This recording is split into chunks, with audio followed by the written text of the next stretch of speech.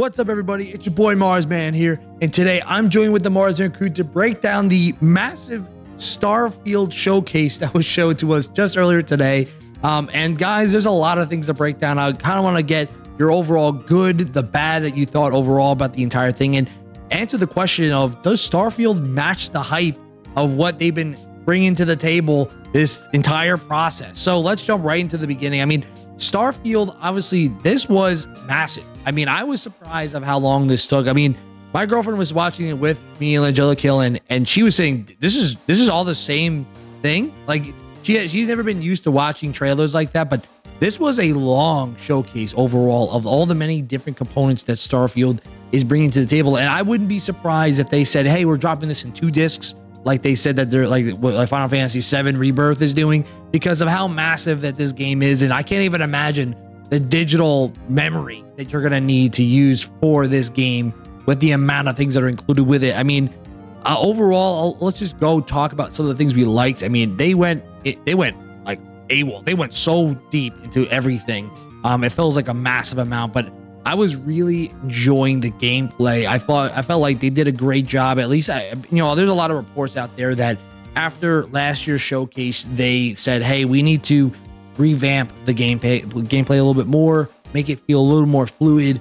And that made that what they showed today was definitely looks way better than what I saw the last time. I feel like last time I'm not gonna I'm not gonna say it looks like Redfall because it, it's not. It's way better than Redfall last time too, but it felt slower it felt more like a, a Fallout gameplay kind of loop, and this one feels more like a Cyberpunk, a Far Cry type of gameplay loop, where it's like it's a lot more faster, a lot more movement, and I felt like they they definitely had revamped it, and with all the opening skills and character creation that you can do. Very similar to Cyberpunk, where you create your own backstory, and then based on your backstory, it actually opens up a lot of different story elements that you could they basically uh, have different cutscenes or, or voice lines that help you out in certain situations. Like I think they gave the example that like if you were um you can pick a certain religion to be a part of the Crimson the Crimson Tide or, Crimson Red, whatever you want to call it, uh, the Crimson something. Alabama. Yeah, Alabama. Uh, Crimson Tide.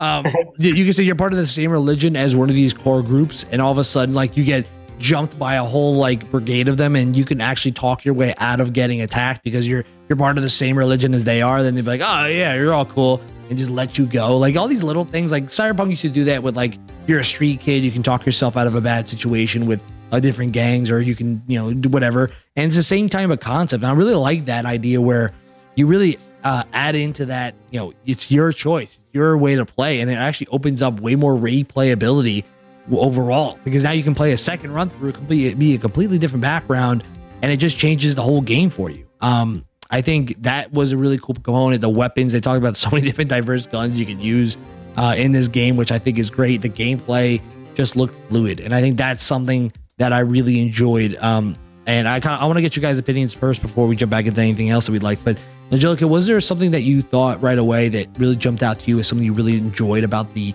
Starfield showing?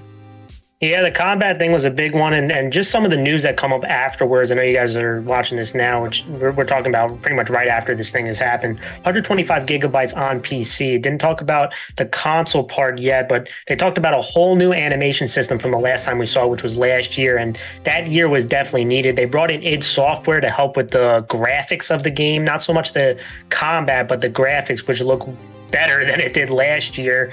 Um, I also just like the content. They talked about a lot of content in this game, a thousand worlds that apparently you can go to. Um, you have that option to be a first or third person uh, while you're playing the game. They, they showed some of the city designs, character designs.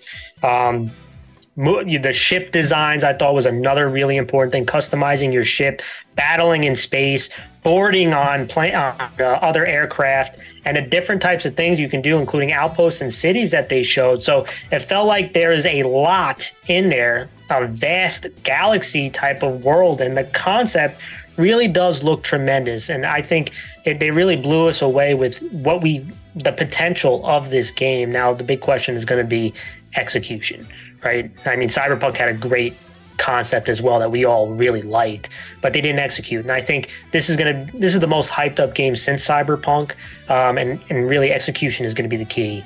Um, coming when this game releases, but the hype and, and what they showed was definitely very impressive from what we saw last year. Yeah, I mean, like at the end of the day, I when I saw the kind of the expansion of the space, right, what you can do, the the whole thing with the thousand different worlds, like they kind of showed you that like this, there's so much traveling you can do, and they limit you. Obviously, the more you play, the more you can travel, the more places you can see, and I think that's like kind of the whole grind of it all, right? Like you need to level up your spaceship to travel yeah, further cruise. out. Yeah, yeah, you can get crews. Um, the skill trees, which I didn't get to mention, that there's five different types of skill trees with four tiers in them, so a lot of customization. Yeah, uh, Haki, I want to ask your opinion. What do you think that you like the most from this the the Starfield showcase? Yeah, so I think this is probably one of the best um, single uh, game showcases that or directs that Microsoft or Xbox has done. I mean, they had a ton of gameplay. Um, it was about 45 minutes to almost an hour long. So, uh, like I said, ton of gameplay, and you guys kind of hit it right on the head. Uh, the exploration and the custom uh, customization were just uh, unbelievable. So, exploring like you guys said, over a thousand worlds, and they kind of explain that some of these worlds will, um, you know, have more minerals than actual, you know, animals and, and things to do, but most of the worlds or, or a lot of the worlds are going to have different species and, and a lot of bases that you can explore and stuff like that. So I thought that was real amazing. And to the customization, like you had said, Mars, uh, you know, the creation of your character, the background, the traits that your character uh, can use, and, and, you can kind of uh, customize that as well. And then, uh, you know, everything that you can do in the world from, um, you know, like I said, exploring and just building a ship. There's so many things that you can do, and I just think that was probably one of the best parts. Yeah, I see. Like the biggest thing I felt overall was that the the fact that you are when you make a comparison to this game. I mean, I feel like this is just Fallout space. Like you're, you can go make your own bases out whatever these planets you want to go to and um, you know, a lot of people are going to say, well, you know, the art style, the faces of the people, they're not like photojet. I mean, Fall, uh, Fallout was never yeah, that. They, have always degree. struggled they've, with NPC designs. They've never. I mean, like they've never been that type of developer. They never, you know, you you think about the I don't know what it is. That's the one thing they just, just don't do. It's just they, it's just they don't, don't really care. Yeah, they really don't care. It's like think about Skyrim. Like it's the same type of thing. Like they they never really made people look super like like great when it comes to talking to them. And I'm not sitting here like, oh, I need the lady to have like you know peach fuzz like on her face, or else I can't talk to her. Like I really don't care necessarily about that in order for a game to be enjoyable. Like obviously the, i think the biggest thing that i'm wondering about this game is how efficient are these like planets at being rendered? How efficient are the people? Like i mean i've heard the whole like hey this is like a city people's got lives and talk. I heard that with cyberpunk right? They they made that same claim is that every person has a different interaction and movement right? And then all of a sudden you you're sitting in a cutscene in cyberpunk and it's the same dude five times in a row gets spawned right next to you. So like i i've seen that happen. So yeah how if you're going to be efficient with your claims, yeah. then I think that this game will be a contender for game of the year. I mean, uh, based on what they showed you, and this is listen, I think this is the aftermath of the Redfall. Like they said, hey, right in the beginning, like this is there are some parts here shown in PC, but these are all all the settings are dialed back so you can see what it looks like on, on the Xbox Series X. Like they said, because they that was all in the criticisms that they had from Redfall was that they didn't show you everything about how the consoles look right? They just said this is what PCs always look like, but not the consoles, right? So they said they dialed it back for the Xbox so you can see exactly what it looks like. And, and even then, the look of the game, the atmospheres, the animations looked fantastic. It looks like a, a, massive game. Even my girlfriend, who's not as big of a gamer as me, was like, "Hey, I'd play it." Like she's like, "I would play around with this game because it looks massive. It looks like you could do so much with it." And and they definitely and they didn't really necessarily show as much of the story. I mean, the story kind of this the gift showcase was more about like the what you can do in the game and the aspects of what is there. And I can imagine like if the story is anything coherent and good, then this game is is like a shoe in for a game of your contender. Like I mean, like the, what you can do by alone gives you a lot of great things if it lands. Right? That's the other. If it lands, this game is set up to be a really good game. But if it has any story that is like good along with it, then like we're now we're talking. Now we're now you're cooking something, right? And I think that's the big thing that we have to see with Starfield. But with with the good, we do need to talk about the bad. And and honestly, when I think about the bad for this, the fact that it's still like the 30 FPS thing is obviously what a lot of people to rag on Starfield for. Um, I think I am more accepting of 30 FPS on Starfield than I am for Redfall. Like, I mean, when you think about 30 FPS, the the re- main reasonings for this is because of the fact that like you're, you're trying to get the frame rate to you know if you're let's just say like for example um, Tom Howard had an interview with IGN afterward. He says you know we are uh uh we you know Tim Howard it had an interview Todd, and said Todd yeah, Howard. It's Todd Howard. I can't say I thought Jesus Christ. Todd Tim, Howard. Todd. Tim Todd, whatever. Todd Howard had an interview with IGN and said, "Hey, you know, we're we're clocking the Series X at 30 because we don't want any sort of stuttering to occur when you're seeing these landscapes." And you know, I, and I'll say, like, yeah, I can understand that in massive games like Starfield, like Breath, like like, like Tears of the Kingdom, where it's a it's a massive open world game, and sometimes you want to make sure that things run smoothly, especially when every little thing counts for like the you know rendering of these planets. Like you know, you don't want anything crappy to happen, and all of a sudden, like the whole planet is just broken, and that could be a problem. Now, PC is hitting sixty. They said that it's hitting like close to sixty in a lot of cases, but they're worried. They don't want it to like stutter, right? So they're like, we're gonna clock it at thirty.